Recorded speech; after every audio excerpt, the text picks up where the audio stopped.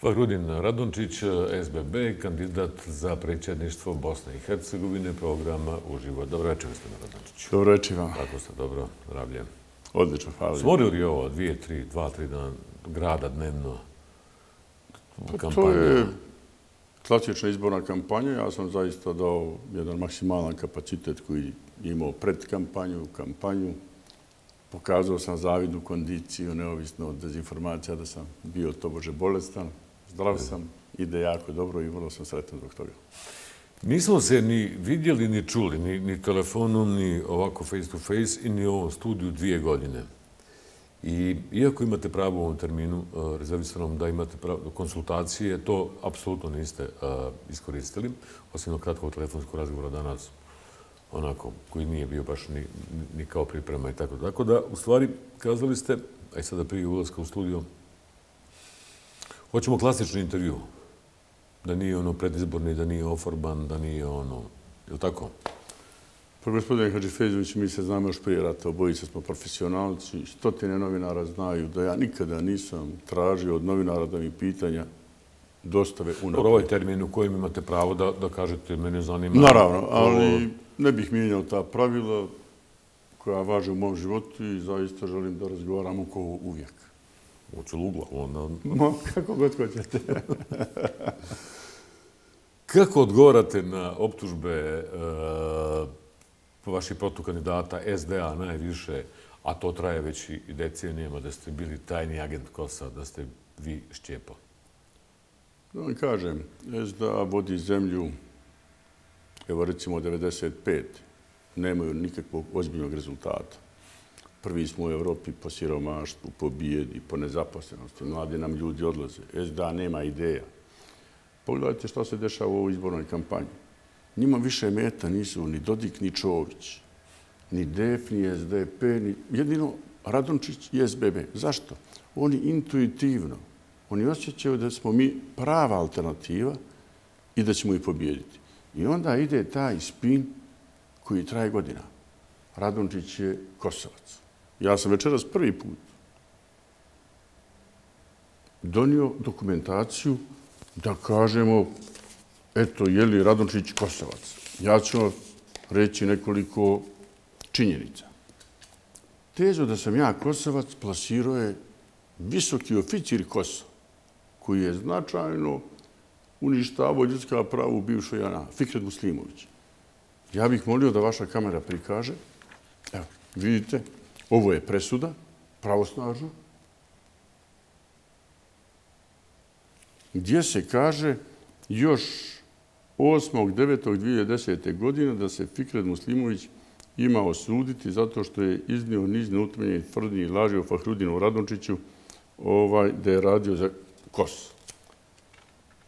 Predsjednica vijeća Amra Hadži Mustafić. Imate drugu presudu protiv istog čovjeka i 17. godine, 23.05.17. godine. Ne znam da li kamera može da pokaže. Hvala lijepa. Ali ima nešto, gospodine Hadžifeđeviću, što ja moram da posjetim naše cijenjene gledatelje. Ja sam, vi znate, bio ministar sigurnosti. I ministar sigurnosti može da postane u principu svako ko ima parlamentarnu većinu i volju. Ali nakon toga za ministra sigurnosti dolazi realan problem. On mora da dobije od posebnog državnog sigurnosnog organa Ja, provjeru, o tome sam govorio našim intervjuima ovdje. Da. koja traje pet mjeseci sa svim istražnim radnjama. I onda su mene pet mjeseci ispitivali. Vi date upitnik, dobijete sa 500 hiljadu pitanja. Od najdaljih rođaka do vaše polne orientacije, do toga gdje ste završili osnovnu školu, do ključnog pitanja da li ste radili za obaveštane službe komunističkog sistema, jer je to ozbiljno kršenje prava. Ja sam najprovjeraniji čovjek u Bosni i Hercegovini po tom pitanju. I ja ću sa zadovoljstvom opet vama pokazati rešenje da Fahrudin Radončić ima sertifikat za pristup tajno i vrlo tajno. Šta to znači? Da je cijela državni aparat punih pet mjeseci sa svim istražnim radnjama radio na način da provjeri da li se imamo bilo kakvu konekciju. da si imao bilo kakvu konekciju sa bivšim obaveštajnim službama, ja bi ostao ministar sigurnosti, ali ne bi dobio sertifikat tajno i vrlo tajno koji je jako važan, jer sam onda ja kao ministar sigurnosti mnogim našim policajcima, i oni to znaju, komesarima, nakon svih provjera koje su prolazili kao ja, potpisivao kao ministar to rješenje da posjeduju sertifikat tajni ili vrlo Nisam mislio da ćete, da ćete vi toliko objašnjavate. A zašto toliko objašnjavate, kako rekao, i branite se od njihovih onih... E, pa zato što se cijela njihova izborna kampanja zastiva na tome. Fahre, Kosovo. Brzo ću ja brzo, neću sa njima mnogo pravdati, ja želim zbog naših gledatelja, jer znam da oni, onda dođu ljudi na tribinama i traže da im halalim. Kaže, izvinite, mi smo imali vaše pogrešno mišljenje. Vi i ja se znamo prije rata. Ja sam bio novinar Zagrebačkog danas. Pogledajte, ja sam 89. kad gospodin Bakir Zedbegović kao intelektualac nije postojao, objavljivo tekstove Sveti Sava dopisuje memorandum. Četnički pamfleti slobodno kružu Jugoslavijom, a teze nisu ni nove ni ovo. Ili dolje ciljevi srpskog nacionalnog programa. I ovo su knjiga. Knjiga, čitao sam neki dan da je to knjiga zbirka tekstova. Jest. Evo vidite, zbirka tekstova, ništa, čak je to fotokopirano. Pogledajte, kažu Radončić priča o ratu, kako je počeo rat. Ja sam 1991. objavio tekst kako izazvati rat na Kosovu. Izvinjamo se gledalcima zbog ovih fotografija koje podsjećaju na masakre koje su četnici radili nam. Pogledajte. To je vrijeme kada su ovdje mnogi govorili, vi se sjećate, nemojte, neće biti rata, za rat je potrebno dvoje, mi ćemo se braniti ćeva barikadama. Tako da ta priča o Kosovu u stvari pokušaj zamije identiteta. I ovo je jedinstvena prilika gdje ja to hoću da objasnim i više se time do kraja života neće ni baviti, osim ko do sada time se bavimo i odvjetice. Jedna od tih optužbi je, ona je onako stvarno diskutabilna, ono, sa nekog vijaskog gledišta a to je da niste baš neki musliman. Šta, viš, šta više nije musliman. Ne ide u džamiju, ne ide u potočare, nije prekoračio, šta je rekao Izetbegović, nije, nije, kaže, neće onako pro forme da, da prekorači prag džamije i tako dalje. Izetbegović je, da budem direktan, žao mi je da je prije dvije, tri noći odbio da dođe u duel sa mnom. Osam godina bježe iz direktnog dijaloga. Vidjeli ste prije tri noći bilo na federalnoj televiziji, debatna emisija predsjednika stranaka, gospodin Komšić, Nikšić, ja, Cvitanović. To je potpuno kultivisana rasprava. Zašto Izetbegović bježi osam godina da razgovara? Zašto? Zašto najteže diskvalifikacije govori meni iza leđa? Zašto ne određe ovako da kaže u licu? Pa zato što nema argumenta. Evo kako sam ja loš musliman. Moje Rahmetli Amiča, Ređep, bio je 30 godina u Rogatici njegov sin, znači moj Amidžić, za Srbi i Hrvate koji gledaju ovu emisiju Brato Stric, bio je 30 i više godina profesor na Gazi Husre Begove Medresi. Radorići imaju svoju džamiju. Više od stotinu godina nisu čekali da se pojavi SDA da bi nam i oni napravili. Dalje, meni je neko prije 60 godina dao ime Fahrudin, ponos vjere, kao dio islama koji smo mi čuvali u kući jer otac učio znači, kura. Znači ponos vjere. Nije mi dao ime Denis, Aljoša ili Dubravko. Ta mašina koja sada protiv mene govore sa lošnostima. Da ne govorim o stvarima koliko sam i jesam ili šta sam pomagao. Šta je poenta? Poenta je, gospodine Hadži Fezović, da su islam na ovim prostorima, govorim o autohtonom islamu, odbranili naše dede, naše nane, naše očevi, naše majke, mi kao generacija i naša djeca, a ne, kako se to lažno predstavlja, SDA. To je moj odgovor na njihove priče, kakav sam ja musliman i posebno je opasna teza da nas se kao društvo cijepa po šavu takozvanog političkog islama. Zna se kod nas, zato se mi, mi jesmo islamska vjera, a ne islamska vjeroispovijest, jer se mi ne ispovijedamo vjerskim sveštenicima, odnosno kod nas vjerskim službenicima. To samo ima neko ko će odrediti i zna se kada, ko je bio kakav musliman. Ja, samo sad ozgo znam. E, još jedna optužba, a to je da to je uvijek bilo onako tajnovito, uvijek diskretno, sada je to vrlo, vrlo konkretno. Dakle, Izetbegović kaže, on u stvari vodi kampanju SDA, kako se to... Po onaj nesretni Džafirović se krije za sebine suknje i za njegovog kaputa, ne vidi se čovjek. Ili Seka vodi, ne znam, ali, Pa on, ja mislim ali on govori. Da vodi Seka, da on priča, a šef ih trčkara ko malo dijete u klini. I onda on kaže, sada konkretno oko Avaza, uvijek je to bilo da je to SDA nešto od pravila, da je davala pare, da je ovo, da je ono. Sada je bilo konkretan i kaže, mi smo napravili Avaz, ja se izvinjam zbog toga smo napravili tamo, a mi i izgleda tu rečenicu, ili po vama prijeteća, obična, obična predizborna ili nije. Kako je rekao, mi smo ga podigli, mi ćemo ga spustiti. Jedno pitanje, dozvolite dva, tri odgovora. Prvo, Avaz je nastao i donio sam kopiju osnivanja Avaza 1991. 22.10.1991. Ja? Znači prije rata i prije, ja mislim, SDA. To je kao registracija. Registracija kompanije, vidite, sudija, šljivo, šukrija, pečat. Mi u Avazu, čak prvi naš tekst je bio Harakiri u Holiday Innu 1993. godine, kad smo počeli, kad sam sada demobilizirao, smo ovaj, napali SDA zbog tog čuvenog sabora gdje se Malta ne tražila muslimanska državica. Nakon toga imate da je 2001. godine porezka policija po nalogu tužilaštva istraživala da li u Avazu ima eventualno nekih drugih para, tuđih para i tako dalje. I šta se pokazalo? Prvo, kako je SDA mogla napraviti Avaz? Odakle?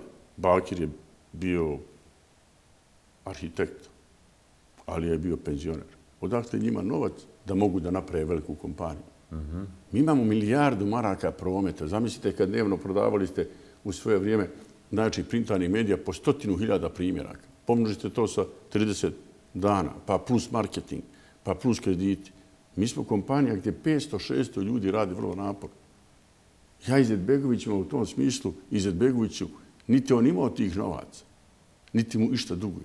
Na kraju, ako je neko dao novac vazu, hajde da prvo utvrdimo čiji je to novac, odakle, kako sam ja to primio. Ja se tu vraćam da ćemo mi tražiti zakon da ratno profiterstvo ne zastarijeva kao ratni zločin. Ako je neko imao tolike pare, a nije obavijestio parlament, nadležne strukture kako ih je trošio, hajde da mu damo zakonsku mogućnost da to radi.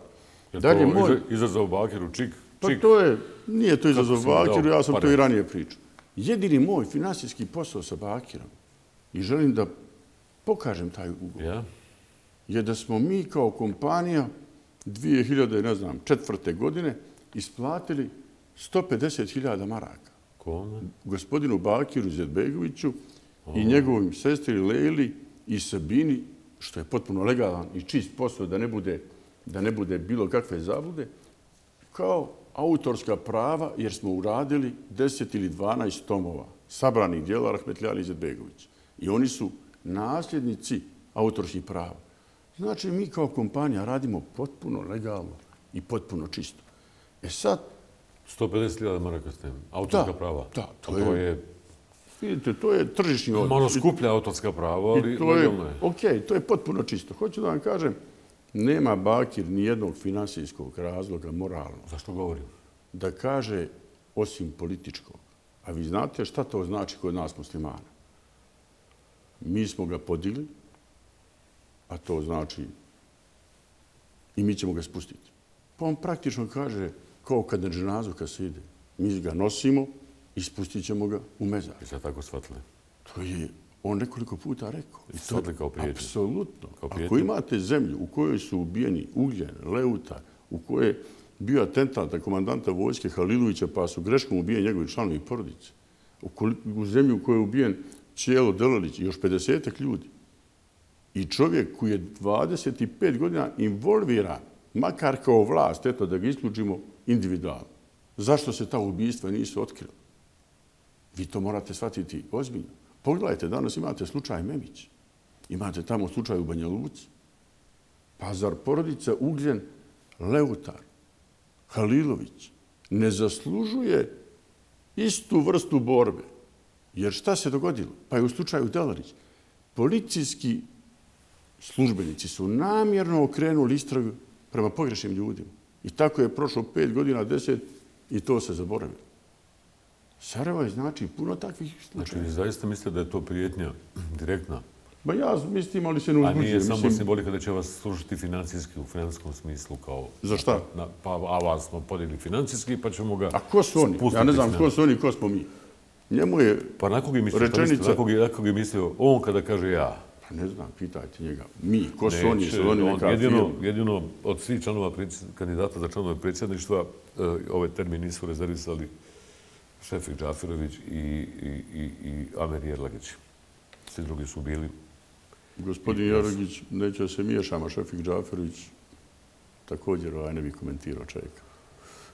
Čini mi se da je po vas najopasnija ta optužba. To se, onako, kako je rekao, uzme se jedno, jedno, jedno mjesto pa se kleše, po, onako, udara se. A to je da, da, da ste optuženi, da, da ste u Prištini na svjedočenju e, uh, Kermendiju kazali da je rat, za rat početak rata krivalija, a, SDA i bošnjačka državna mafija. I udaraju vas na tome. Znači, podkazuju vas narodu da ste vi to... Pa vi se sjetite, 2014. godine oni su čak uspjeli da podignu optužnicu koja je srušena pred Međunarodnim sudom Euleksom da sam ja imao učešće u ubijstvu Ramiza Delalića Ćela. Zašto bi Favro Radović imao veze s tim? Ja sam tamo preko Keljmendija kao kourotnik pravosnažno oslobođen toga. U oči lokalnih izbora imali ste nevjerovatnu montažu da vršim pritisak na neovisno pravosuđe. Imali ste pravni kuriozitet, nezabilježen, čak u socijalističkim rigidnim zemljama, komunističkim, da je bila preskonferencija predsjednice suda Međide Kres, ovog bivšeg sad već smijenjenog državnog tužitelja Gorana Salihovića i direktora SIPE, gdje predsjednica suda koja treba da procjenjuje u ime suda BiH odbranu i tužilaštvo kao dvije ravnopravne strane, kaže mi ćemo riješiti ovaj slučaj. Morate, da biste me pobijedili, stalno nešto spinovati. Kako će Fahro Radončić reći da su bošnjaci krivi za rat? Ako sam vam malo prije pokazivo, kad oni nisu kao miševi smjeli da pisnu o onome što sam ja pisao na Kosovo, o Kosovu, o Bosni i Hercegovini, ovdje imate sve moje tekstove da se Jugoslavija treba raspasti, optužiti bošnjake. Zar to ne bio haram? I to što on radi, to je najbolesnije. Nešto što možete uraditi bošnjaku. Meni je lakše, vjerujte, da mi opsujete mrtvog oca i mrtvu majku, nego da mi kažete da sam izdajnik. Ja u mojoj kući, senade, vi to znate, imam tri šehida. Moja supruga Azora ostala je bez dva rođena brata od 19 i 21 godine. Ulica nosi u Sokolović koloni ime braće Bučan. Moji sinovi nemaju tu privilegiju da znaju šta biti, šta je to kad imaš dajđu ili ujak. Moja sestra je bila svaki dan rata u Sarajevu samo. I četnička granata mu je raznila glavu. Moja sestrična i dan dana živi sa 13 gelera. Ja sam svaki dan rata bio u opkoljenom Sarajevu. Taj čovjek u jednostavno nema nivoa ispod kojeg neće sići zbog želje za bolesnom vlašću. Što njega boli Kosovo? Pa boli ga što je propao proces koji je on montirao da ja budem osuđen za njegovo ubijstvo. Da vam kažem ovako ekskluzivno što misli. Što kažete, malo sam zatečen. Bićete vi puno zatečeni. Evo, ja se bavim samo hronologijom. Da je Bakir ubio... Nije Bakir ubio, ali pogledajte. Je li prvo za ubijstvo Rahmeti Delalića optužen Muhammed Ali Gaši? Pet godina su upravo kao u ovim slučajima o kojima govorite u Banja Luci, policajci skretali ja. istragu na pogrešnog čovjeka. Ja? On je pravosnažno oslobođen da nije počinio to ubijstvo. Onda su još 4-5 godina rekli Kjeljmendi i Radončić. I mi smo pravosnažno oslobođeni. Ja. Umeđu vremenu je gospodinu tužitelju nestala masa dokaza iz predmeta da bi se otkrili, da se ne bi mogli otkriti pravi naručioci ubijstva. Dalje, hajte da vam osvežim papćenje. Je li gospodin Bakir Zedbegović, dok nije ubijen Čelo Delović, kao državni poslanik, stalno išao kod e, tužitelja Miroslava Mamarkovića i postavljao poslanička pitanja. Ko stoji iza atentata na mezar mog oca? I svi su u Sarajevu pričali da je navodno Rahmetli cijelo minirao mezar Rahmetljali. I vrlo zanimljivo. Onog trenutka kad je Delalić ubijen, već 7-8-10 godina, gospodin Izetbegović nijednom više ne postavlja pitanje šta je sa atentatom na mezar mog oca. Zašto? To je za mene indikacija. Čega to je indikacija za državne organe. Hajmo da se malo bavimo time. Da okrenemo te... Indikacija šta? Indikacija da je neko napravio jednu vrstu osvete i da ga više taj predmet ne zanima, osim da ga uvali Radončiću ili nekom drugom. Čisto ko suza. Šta hoćete da kažete? Sve što sam rekao, čuli ste. Da je Čile minirao, pa zbog toga platio glavom? Ja mislim da je to najvjerovatniji scenarij, ali to treba da utvrdi pravna država, a ne Fahro Radončić. Zašto to niste prije kazali, prije su vas e, sumničili optuživali i, i tužili e, za taj slučaj? To sam ja rekao na Kosovu, a onda je okrenuto, pošto je Bakir kao Srbi izgubio kosovski boj u tom podmetenju protiv mene, onda se to spinovalo, on je optužio Rahmetljaliju. Pa vi znate, bili smo u ratu i vi i ja sam. Pa ja sam sa Rahmetljalijom bio pravi prijatelj. Ja sam stotinu puta s tim čovjekom pio kafu. Šeto, ko i vi, ko mnogi intelektualci. Nisam ja pio kafu. Ja jesam. To je malo predođuva. Vi jeste, znam. Vi znate, to je tako. Što... Oh, ima veze o intervju sa izborima. Onaj. Iš koliko imamo režija? Ima još minuta. Više od pola sata. Novinar. Ja sam mislio da, će, da ćete iskoristiti termin da ja, da ja šutim i vi da pričate, ali ne sam me zanima. Još jednom. Kažete da vi niste ubili Delarića, a da je šta on naručio? Ne. Organizovao? Ja nisam rekao ja nisam ubio Delarića. To je rekla pravosnažna, drugostepena presuda na Kosovu i utvrdila da mene u toj priči apsolutno ne. Ali ste rekli da je on... Ali sam rekao da on imao više motiva da se bavi time, pogotovo ako se uzme izjava gospodina Delovića u oči smrti, da je Bakir Zedbegović mu prijetio i to je sve objavila Slobodna Bosna. I Delović je ubijen dan prije nego što je taj njegov intervju objavljen. Ima mnogo vrlo indikativnih detalja. Vi znate, svjesni ste odgovornosti novinar ste. Što znači ovo? To znači iznošenje činjenica koje sam ja rekao na Kosovo. I tamo se niko nije bavio ni ratom, ni rehmetlijalijom, nego isključivo time. Ja sam pokazao ovako, naslovnu stranu Slobodne Bosne, posthumni intervju sa Delorićem, prije tri dana, je dao intervju, bojao se da će biti ubijen. U tom intervju rekao je vrlo indikativne stvari za i svaku normalnu objektivnu istragu koje se tiču uloge Bakira i ne u tom, nego i u drugim ubijstvima. I kada ovo prođe sve, u ponedeljak, e, ako budete u prilici vi i on, znači Izetbegović, SBB i SDA, hoćete li halaliti jedan drugom opet i ući u koaliciju? Ovo su, gospodine Hadžifezoviću, stvari elementarnog morala. Ja se bojim. Nisam ja jedini izdajnih po znacima navoda u očima gospodina Bakire Izetbegovića. Sjetite se da su izdajnici bili i Muhamed Filipović, naša hodovića institucija, najveći živući bošnjački intelektualac, Rahmeti Adil Bek Zulfikar Pašić.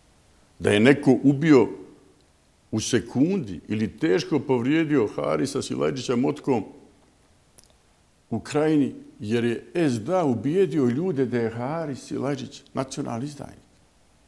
Mora kod nas, Bošnjaka, presta ta retorika da SDA čuva vlast ne ekonomskim, socijalnim, diplomatskim, političkim rezultatom, nego tako što svoje rivale od izbora do izbora optužuje za izdajništvo. Pa to je prošlo i gospodin Sefer Halilović.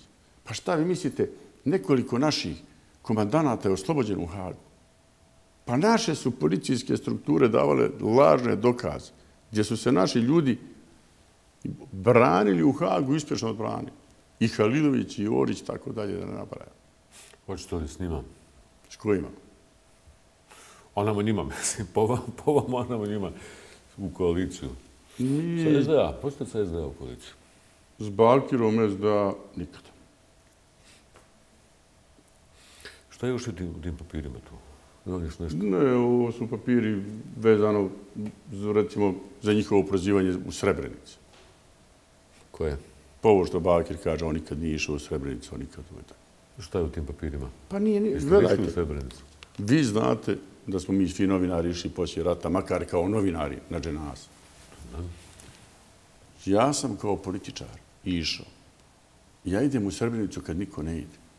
Tom gradu je najpotrebnije da ih posjetite sada, kad je to gluho, nijemo i u mraku. Ovaj dan poslije je. Meni je važnije da recimo Avaz uradi jedan specijal sa svim žrtvama, izjavama morio, ovi, svi sudija, tužilaca, sudija, svetskih državnika i to ode u sve biblioteke svijeta. Nego stvari na koje Bakir pokušava da vara javnost. Imate stotine mojih fotografija iz različitih prilika gdje polažem cvijeće tamo. Srebrenica se brani ne tako da vi kažete Senad ne ide u Srebrenicu. Ja sam uzeo 20 djece iz Srebrenice i dao im mjesečnu stipendiju od 500 maraka. Da mogu da žive porodice, ne samo ta djeca. Moje srce kada je Srebrenica u pitanju potpuno čisto.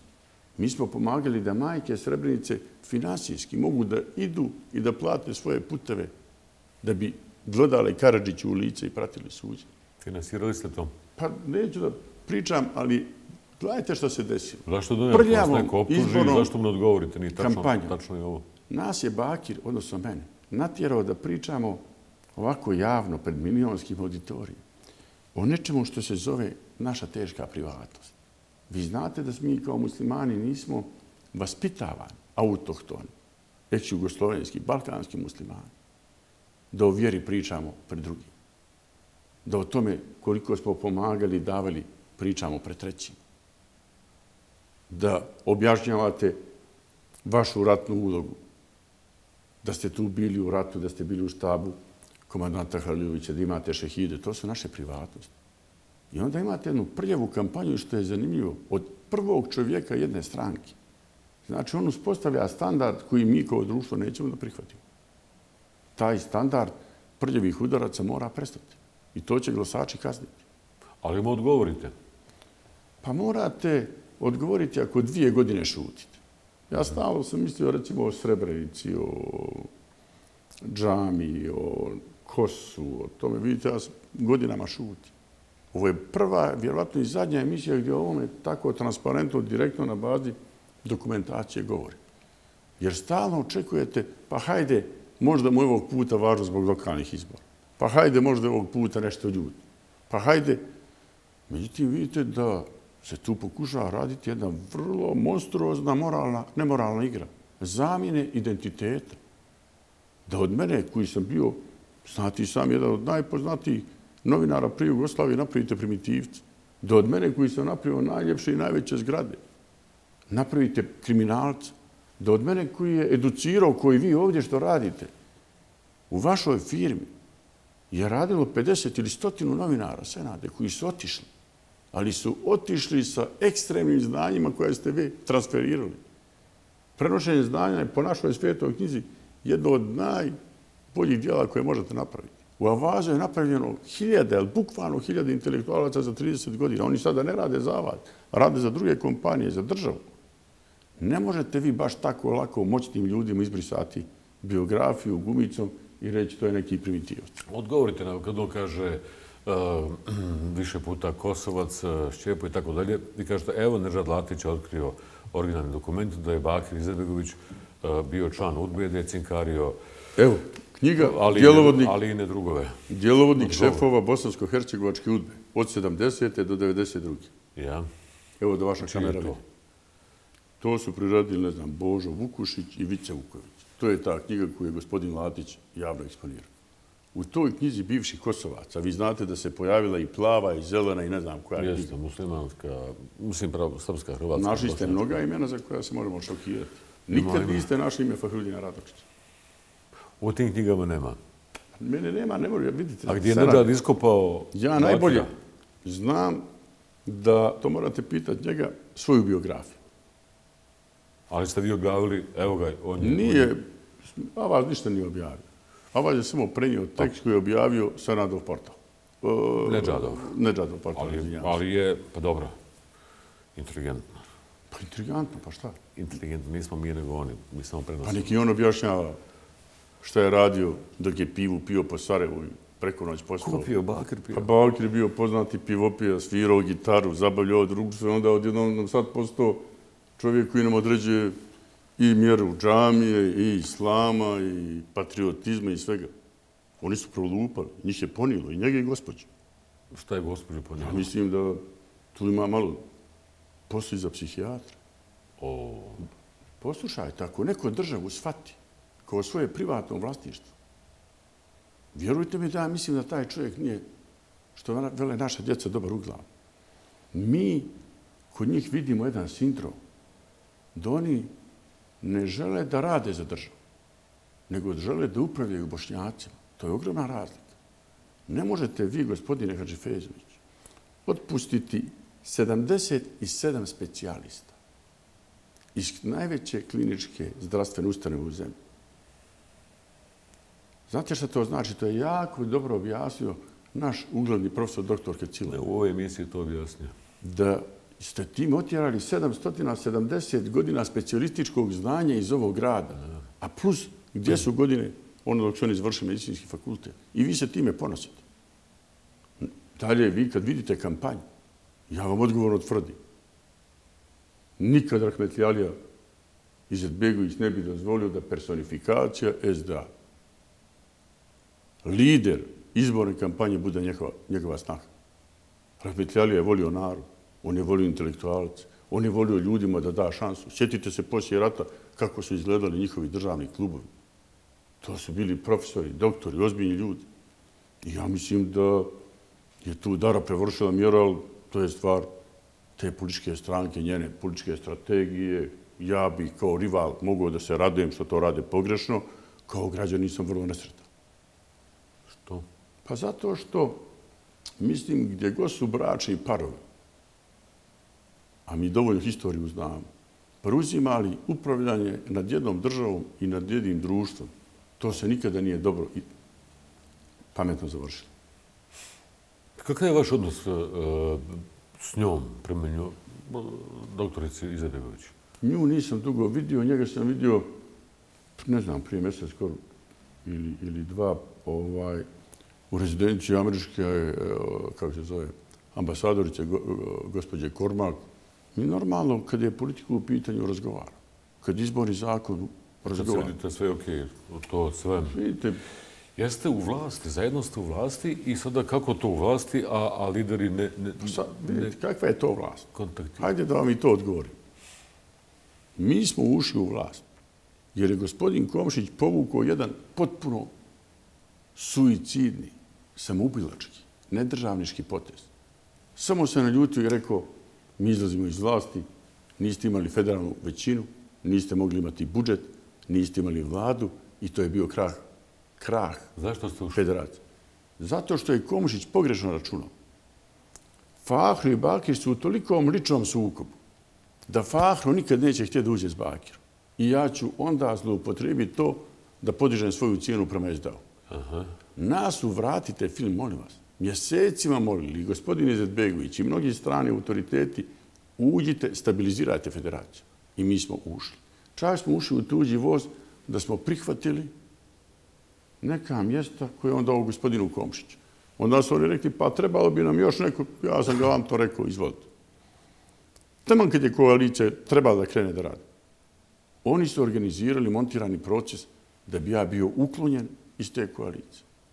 I ja sam dvije godine, 72 puta išao na ročišta plus dva i pol mjeseca pritvor. I to se završilo oslobađajućem prvostepenom presudom. Ja sam to podnio kao gospodin.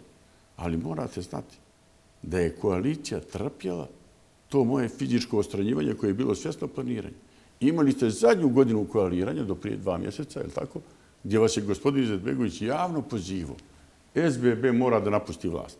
Mi smo rekli vrlo rado dajte nam alternativu.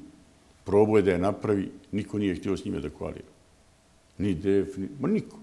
I mi smo tu, čak smo u jednom kantonu, ja mislim u krajini, naši ministri su dali ostavke. A onda zamislite, parlamentarci SDA glasuju protiv tih ostavki. Takva je to bila koalicija. To nije bila koalicija iskrenog tipa. To je bio zagrljaj udava koji je trebao da politički potpuno eliminira SBB kao potencijalnog rivala. Zašto je SBB, zašto ste vi ušli u taj zagrljaj udava kada ste prije toga, prije nego ste ušli u taj zagrljaj udava, upravo pisali o tome da ko je god ušao i govorili politički, a i o vas, e, neka kolega oprosti što to dvojali, da istaknem. Dakle, pisali o tome da kogod uđe sa SDA, imamo još vremena, uđe sa SDA, e, taj bude ugušen kao politički projekat. Koliko ste razmišljali o tome da niste ušli u koaliciju sa SDA, da ste ostali u opoziciji, da vam tada vrlo vjerojatno ne bi uhapsili, ne hapsi se lider opozicije, a da ste ostali, bili biste lider opozicije. Koliko vas je to politički toliko oštetilo da, da, da sada morate da... Pa nikoliko. Gledajte, nije. SDA, ti koji nama pričaju da SBB uništava jedinstvo unutar federacije ili bošnjačko jedinstvo, nisu mogli u koaliciju sa strankom za BiH, pa sa SDP-om, pa sa DF-om, pa sa ASD-om, pa sa BPS-om, pa sa milion malih stranaka. Oni su se pokazali, jer sam ja tu bio najšarmantniji, najgalantniji u davanju pozicije čak i tog malog broja koji smo imali, evo, hoćete još, evo, izvolite, da oni više nemaju sa kime da koaliraju. Ko će ponavljati ovakve patnje? Pa gledajte, to veče pominjem, opet federalnu televiziju. Milina je bilo učestvati, ja mislim da je to bilo jako važno i za javnost. Kad razgovaraju gospodin Komšić, Nikšić i Radočić o 50 različitih problema od obrazovanja, izgradnje zemlje, infrastrukturnih radova i o svemu svaka stranka ima rešenje. Ima ozbiljno rešenje kako da zemlja ode naprijed. I ja mislim da su tim eksperimentom i tom brutalnošću koju se nam podnio bez lažne skromnosti kao gospodin, SDA, odnosno nije SDA, SDA je šira stranka, vrh SDA, ozbiljno sebi reducirao prostor za buduće koaliranje Jer kog želi da uđe s njime, sjetit će se svog iskustva. Ne moramo šta su radili kad su bili prvi u koaliciji i šta je da u stanju da uradi svojim navodnim koalicijalnim partnerima. A je li tako da bi nas bilo lakše da niste bili u vlasti? Opatno rastarećeni Pa morali ste kao odgovoran čovjek, kao državnički čovjek. Mi da nismo ušli u vlast, gospodine Hadži Fezović, hiljade profesora, policajaca, zdravstvenih radnika, ne bi moglo primiti plaću. Niko ne bi imao ne bi postojao opcija da se usvoji budžet. Svi budžetski korisnici, državni službenici, bi ostali bez plaće. Dalje, to bi bila potpuna paraliza federacije. Nemate vi ponekad pravo, meni su ljudi rekli, Fahru uvlačete u koaliciju, jedan naš uvaženi kolega, samo da te uhapsi. To pitam. I znaj, ako uđeš u koaliciju, uhapsit će te, podmetući ti. To pitam. I kažem ja, mož baš me brige. Moja savjest je čista. Ja ovdje želim da pomogim građanima Bosne i Hercegovine. Ući ćemo u koaliciju, napravit ćemo vlast, a ja znam svoj život, oni meni mogu ozbiljno zadeverati, ali ja se toga ne bojim i ponovo bih isto uradio uz isto ovu cijenu koju sam nepotrebno, koju sam nepotrebno podnio, samo zbog našeg naroda. Reže, koliko još imamo vremena? 20 minuta. Hoćemo o protu kandidatima? Hoćemo o svemu, ja sam rekao da... Šefik. Jedan od razloga zašto sam se ja kandidirao je gospodin Džaferović. SDA je, hajmo da budemo ozbiljni i korektni, imala, ja sam to njemu rekao u licu u debatnoj emisiji, nekoliko mnogo atraktivnijih kandidata za člana predsjedništva. Zašto nisu? Zašto je on? Bakir je odlučio da mimo broja konvencija, a od gospodina Džaferovića veći broj konvencija su imali gospodin Zvizdić, gospođa Sebija Izetbegović, a mislim i gospodin Softić, on je rekao ne, Zvizdić se izvuku iz kandidature jer je bila priča bit će se bija, neće da smeta porodici. Šta vi mislite šta je bila ideja? Da zaista bude na konvenciji ona izabrana? Ja mislim da je bila ideja da se eliminiše gospodin Zvizdić i da je on tu naivno ili taktički, dugoročno izračunao da je najbolje da ne bude dio te priče. Pa on je, on je slušao bilo, bilo kakva da je konstrukcija, on je slušao tu konstrukciju izlaskom. Izlaskom, da. I kaže, neću. Prvi rekao neću, onda je... I uh, Džaferović je, gledajte, parlamentarac koji 25 godina živi od budžeta. Oni kriju njegovu biografiju. Čovjek je bio sekretar AIDA, tajne službe zbog mladih ljudi koji ukinula međunarodna zajednica, I to u vrijeme kad su se desila najteža politička ubijstva. Ljudi koji su radili u toj agenciji, Leutara, Ugljen, gospodin Džaferović je učestvovao u privatizacijama kriva i gdje je 13.000 ljudi ostalo bez posla. Kao poslanik iz tog kraja ništa nije uradio da zaštiti Zeničko doboći kanton. On je iz treće lige političara i jedini smisao njegovog imenovanja za kandidata ispred porodice Izetbegovića da on bude čuvar kuće dok se Bakir ne vrati. Mislite da je to plan, da bude četiri godine u predsjedništvu, onda Bakir pa, naravno, ima ponovo... Ali gospodin Džaferović nema kapacitet, da budemo iskreni. Robustnog igrača, nema privredno iskustvo. On nije dana radio kao što vi radite ili ja da nešto gradi, da upravlja ljudskim resursima. On je samo slušao. Takvi ljudi teško sutra mogu u predsjedništvu da budu lideri, ako morate za sve pitati svog šefa. Jer on kaže, njegov politički idol je Bakir Izetbegović. Znači, Bakir je bio loša kopija Rahmetljani Izetbegovića, sad Džafirović je loša kopija kopije, Džafirović će slušati gospodina Izetbegovića, to nije sporno. Problem je kad se gospodin Bakir i hipotetički se bija posvađaju koga će Džafirović slušati kao član predsjedništva. Hoću da kažem, radi se o neautoritativnoj osobi u svojoj stranci, a kamoli u odnosu ako vam tamo dođu robustni, drski igrači kao što su Čović, Dodik, Ivanić, da ne li citiram, koga će izabrati Srbi i baš me brige koga će izabrati. Denis Bečirović? Bečirović je mlad momak koji je poznat po pisanju tih otvorenih pisama. U toj debatnoj emisiji ne znam, niste možda gledali, ja sam se osjećao šarmant. On ne može da se odbrani od jednog šefika Džaferovića, onako nesposobno. Šefik mu se navalio ko smrt na babu, što kaže narod, oko zakona o prebivalištu i boravištu. Vi ste to donili, vi ste donili. I onda sam ja, bilo mi ga žao, negdje je rekao polako, gospodine Džaferiću, pa vaš gospodin Šepić je kriv za taj zakon po znacima navoda. I to je kada je izlazio iz SDA vaš predsjednik Bakir Zetbegović javno rekao da je najveći kriva za taj zakon upravo Šepić. Koliko se radi o neobrazovanim ljudima. Sve da sam bio ministar sigurnosti. Ja sam donio za, tri zakona. Vrlo delikatno. O zabrani odlaska na strana ratišta. O zabrani e, o programu zaštite svjedoka. I zakon o zabrani pranja novca i finansiranju terorizma. Zakon o prebivalištu i boravištu, gdje oni jedni druge napadaju, je fenomenalan zakon. Oni kažu to je ugrozilo ljudi iz Republike Srpske. Ja vam potpuno odgovorno kažem, je bilo sad najelegantnije da se ne bojim tim. Tim zakonom je ustanovljeno kako se neko mora prijaviti da živi na toj adresi. A to je opet molim cijenje gledatelje da vrate film, bio uslov svih uslova da se zemlji ukrine vizni režim. Hiljade naših ljudi su stajali pred ambasadama da bi dobili vizu. Mi kad smo usvojili taj zakon, istog časa smo dobili čestitke Američke ambasade u Sarajevu, Evropske komisije, Brisela i ukinuli smo bezvizni režim. Nam još 15 minuta. Ispada da, da ste branili Denisa od Šefika. A kako će onda taj Denis da se nosi sa mnogo jačim igračima nego što su šefe. se susreli sa, na izlasku iz studija sa Misadom Adžikadićem, nov je nezavisan iz Amerike i tako dalje. Kako šta mislite o njemu? Je li on neki ozbiljan protukandidat vama?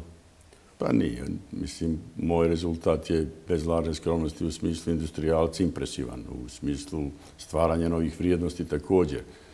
Dalje, ja ne volim da pričam o kandidatima koji se svoje države sjete onda kada je to borba za neku atraktivnu poziciju.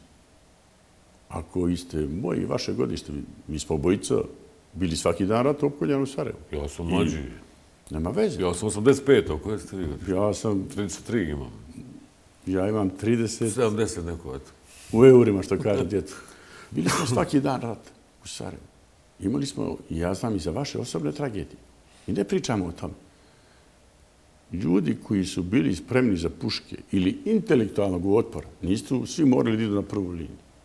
I nisu bili ovdje kad je to zemlji bilo najpotrebnije, nego su svoje karijere, što jako poštoje, podredili svom patriotizmu, odnosno nepatriotizmu, ja u principu ne držim za ozbiljnje rivale. E, imam nekoliko državničkih pitanja, ono što je nadležnost predsjedništva, da vas pitam samo prije toga. U toj kombinaciji, Željko Komšić je govorio večeras i prije mjesec dana gotovo 2-1, da, da, da ako pobjede Čović, a sada ste vi to pomenuli Čović i Dodik, da ovaj jedan mm, bošnjački je bitno ko je, ali generalno se gubi 2-1. U toj kombinaciji da bude 1-2 za Bosnu i Hercegovinu, 2-1 za Bosnu i Hercegovinu, Komšić vidi sebe na tom mjestu i tom. U kakvoj kombinaciji ste? Da li je on, on protukandidat? Da li je on konkurencija? Da li on uzima glasove? Ili bi to bila dobra kombinacija da bude 2-1 sa Komšićem? Pa vi ste imali situaciju, gospodin Hadži Feđić, kada je bilo 2-1, gospodin Izetbegović, je tako, i gospodin Komšić su bili u predsjedništvu. 2-1 za BH, Bravo. I to 2-1 za BH nije uspjelo da potpiše ugovor između države Bosne i Hercegovine i naše islamske zajednice. Potpisan je ugovor i neka je, i mi smo podržali to, sa Srpskom pravoslavnom crkvom i sa Vatikanom.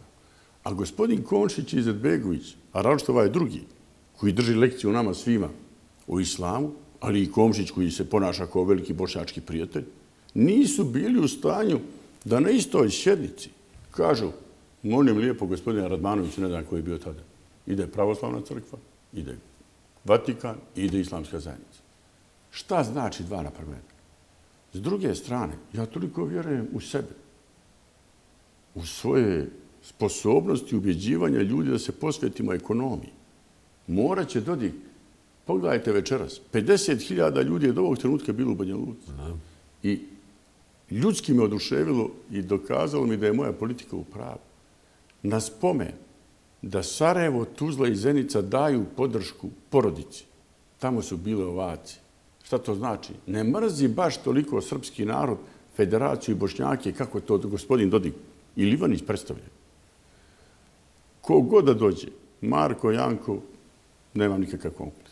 Što se tiče gospodina Komšića, meni je mnogo lakše da s njime komuniciram na privatnom osnovu. Ali hajte da se ne bojimo nacionalnim temama, građanskim.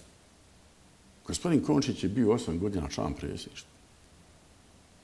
Imao je dovoljno vremena da pokaže šta zna i šta može. I sad odjednom gospodin Komšić kaže ako ja ne budem izabran, propašće Bosne i Hercegovine. Gospodine Hrđefezović, 200.000 su bošnjaci dali šehida da bi sačuvali ideju Bosne i Hercegovine. Imamo milion raseljenih. Ne može Bosna i Hercegovina i bošnjački politički faktor, a mi smo temeljni narod Bosne i Hercegovine, a znam se Srbi i Hrvati na ljuti zbog ove ima rečenice. Ovisiti o tome hoće li u predsjedništvu da sjedi Željko Komšić. Poštujem ja njegov zlatni ljijen.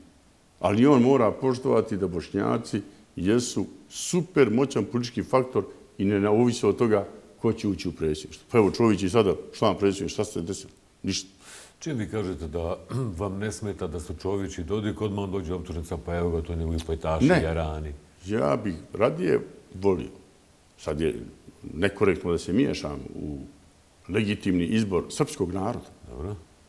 Ja sam to rekao i nekim stranim ambasadorima. Meni bi bilo mnogo lakše. Ja sam prijatelj sa gospodinom Ivanićem. I mi ljeti često na moru večeramo i ručamo. Ivanić, Da Ivanić bude član predsjedništva. Zašto? Vrlo logično objašnjenje. On štiti srpski entitet.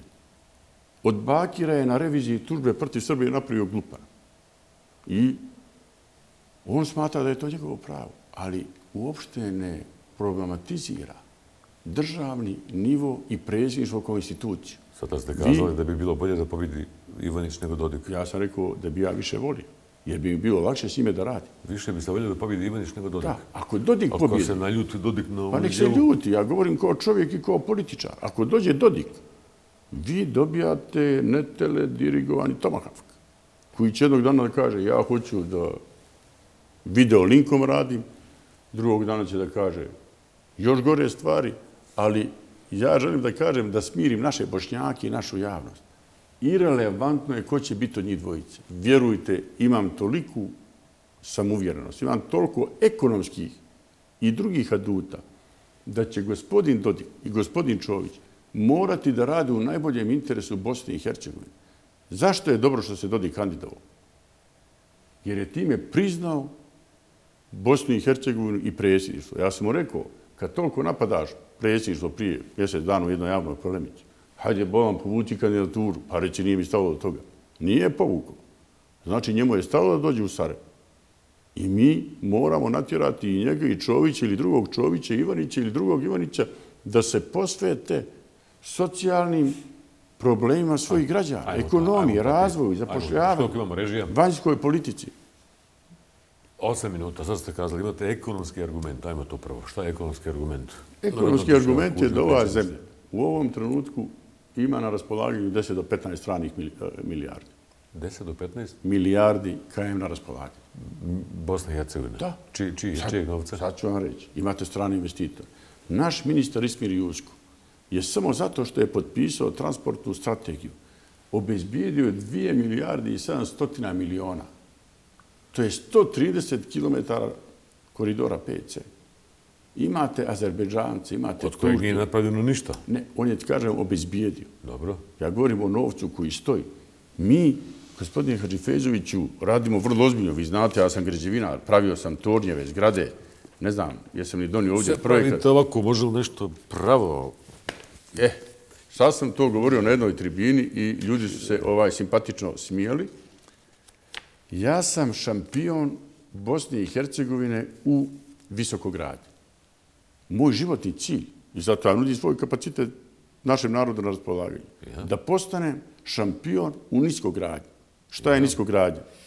Iskorištavanje energetskih resursa, Niskogradnja- izgradnja autoputeva. niskogradnja Sarajevo, Beograd.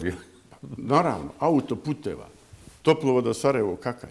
Ako pokrenete građevinu, a ja sam investitor, sve znam o tome, za sobom to vuče još 42 grane privrede. Neko Od proizvod- 96. govore o javnim radovima, pa smo jedva skrpili ovo malo. Pa gledajte, govore, mi smo mogli mnogo više da napravimo. Neko je Šta namjerno... je ekonomski adu? Šta je još?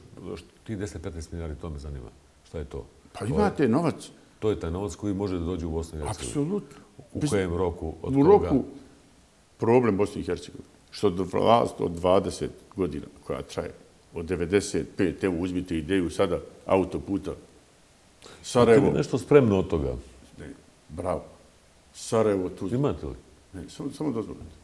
Naša država i naši vajna vlast, prvenstveno mislim na SDA, nema idejni projekat autoputa Sarajevo-Tuzla. Nema trasu, nema ekspropriaciju, nema geomehanička ispitivanja tla. Oni ništa nisu radili da pripreme se te pare utroše. Ali ja vam tvrdim da mi možemo u roku godinu, dvije dana da pokrenemo masovne radove i da od Bosne i Hercegovine napravimo mega pozitivnu ekonomsku priču. Da zaustavimo odlazak mladih ljudi. Da damo ideje u smislu novih zakona. Da damo, ja sam to govorio prije neko večer, mi moramo napraviti zakon da svaka majka koja rodi mlada majka, troje djece, dobije doživotnu penziju. Moramo napraviti humanu banku. Je li moguće to? Ima li para ti? Ma naravno, Ima li para u državi? Naravno, novaca gospodin Hadžifezović ima i previše. I može. Znači, može, može da se platiti majka koja je mlada, Šta ima nas 25 košta? godina, ima troje djece. Da napravimo humanu banku, da je tako nazovemo. Imam još pet minuta. Humanu banku koja će omogućiti da naši građani koji su zaduženi kod komercijalnih banaka pod jako lošim kamatama otkupe svoje kredite preko humane banke na 10 godina sa kamatom od 1-2%. Država je tu da pomaže svoje građane, da pomaže svoje privrednike, da rastereće privrednike. Mi možemo smanjiti sada doprinose na plaće za 30%, koji će ići u džep. Vi kao poslodava svom novinaru date 1700 maraka. Ovom poslodavcu je Novodić prije četiri godine ovdje rekao da će to biti smanjeno, pa nam je topli obrok na tovarija. Dobro, vanjska politika... To su isto. Vanjska politika mora da se potpuno promijeni. Mi smo od zemlje, uzmite Rahmetlijaliju, kojeg je ravnopravno razgovarao sa Clintonom, Širakom, svim predsjednicima velikih zapadnih sila, došao od toga da njegov sin ima samo jednu destinaciju, Ankaru. Bosna se nalazi na historijskoj raskrstici. Ili ćemo biti dio evropskih porodica, euroatlantske integracije i NATO, ili ćemo biti dio Bermudskog trougla koji se zove Teheran, Moskva i Ankara. Tri autokratska sistema. Ja se potpuno transparentno borim za ideju da budemo dio evropskih porodica, jer mi tamo pripadamo vjekovima. Mora i u naše diplomate postati ekonomske diplomate. Ne može se devet puta ići u Ankaru, a jednom u Brisel. Mora se sve zamijeniti. I vanjska politika će morati da vrati autoritet Bosne i Hercegovine na međunarodnoj sceni. Još dvije minute imamo. Samo kratko to tom zanimljivo. Rejsov brat je sa vama, a Rejs? Uh, Hadžija Šemsudin Kavazović je nosilac liste, član SBB-a i već je poslanik četiri godine u federalnom parlamentu. Mi kao ozbiljna politička stranka to nismo htjeli da rabimo, niti zlupotrebljamo politički. On je naravno javno rekao da misli da sam ja jedan od najsposobnijih bošnjaka, pa ga je neko napao ovog eh, Šemsu i Šemsu je rekao to je najsposobniji bošnjak. Rejs, ovo što sam vidio i danas je bila hudba, obradovalo me da imaju potpuno izbalansiran stav. Vidio sam njegovu izjavu, jako sam je dobro memorisao da misli da nije dobro da jedan narod bira predsjednika drugom narodu. I tu se slažemo. Mislim da to ne treba raditi. Da bošnjaci trebaju svoje glasove da čuvaju za bošnjačke kandidate. I to su dva brata sa potpuno suverenim da ne kažem, odvojenim političkim stajalištima. Pa čiji je to? Za koga je Rez? Pa to morate njega pitati. On Neće ne bi... da dođe. Jedini čovjek koji nikad nije došao u ovaj studio je Rez Sefendija. To je nevjerovatno. On pa ja mislim... Spukli smo se, svađali, skidali Ahmedije, Ahmediju. Zato je onaj prošli toliko neautoritativan da je dobio samo 30.000 glasova kad se kandidirao za bošnjačkog člana predsjedništva, a ovaj aktuelni je vrlo, vrlo autoritativan. Još dvije minute će samo da iskoristite da se obratite ili da pričamo? Pričamo sad. Pare. Ljudi vas gledaju kroz pare. Da imate para, da to, no, to ljudima bude i odbojno, bude, bude, bude i, pri, i primamljivo. Gospodine Hadžifeđić, mi moramo ovdje... Da ste optreći ili da je to prednost? Da, mi moramo da, ja prvo kažem, ja ne mogu biti sretan u zemlji nesretih ljudi. Ja ne mogu biti super uspješan u zemlji neuspjeha. Ne mogu biti super bogat u zemlji siromaštva ja moram da ponudim svoj kapacitet svojim građanima. Ljudi ko što je Fahro Radončić, vjeruju tu u ovoj zemlji, ima stotine ili hiljade, ali nisu imali mediji da se mogu odbraniti od reketaša pojedinih stranaka. Mi moramo da razvijemo domaće investitore, kao na zapadu. Uspješni ljudi koji prave tornjeve, tvornice, proizvode, ove čaše u milionskim primjercima su ponos svake nacije jer zapošljavaju stotine i hiljade ljudi i pune budžet. I moramo promijeniti taj mentalni sklop da je uspješan čovjek lopov. To su plasirali lopovi političari da skrenu pažnju sa sebe. Znači, moramo u strane investitore razviti prostor i ambijent da jačaju naši domaći investitori. Režija, još koliko? Tačno minutu. Tačno minutu završeno ili... Još minutu da završimo. Ja bih iskoristio minutu da jednostavno pozovem građane Bosne i Hercegovine da izađu na birovište. Da u nedelju se ponašaju kao da idu na svadbu. Ili kao da idu da nekom sebi ili članu porodicu izvedu dijete iz bolnice novorođenča. Da odu kao da je to jedan svečani čin kao što je stvaranja, odnosno početka nove Bosne i Hercegovine, uspješne, moderne, prosperitetne, evropske i mnogo bogatije nego je sad. Hvala gospodine Radončiću. Hvala vam. Parudi Radončić, SBB, kandidat za predsjedništvo Bosne i Hercegovine. Tako završavamo naš predizborni program. Ostanite s nama, poštovani gledoci. Za minutu se vraćamo u studio sa odjevom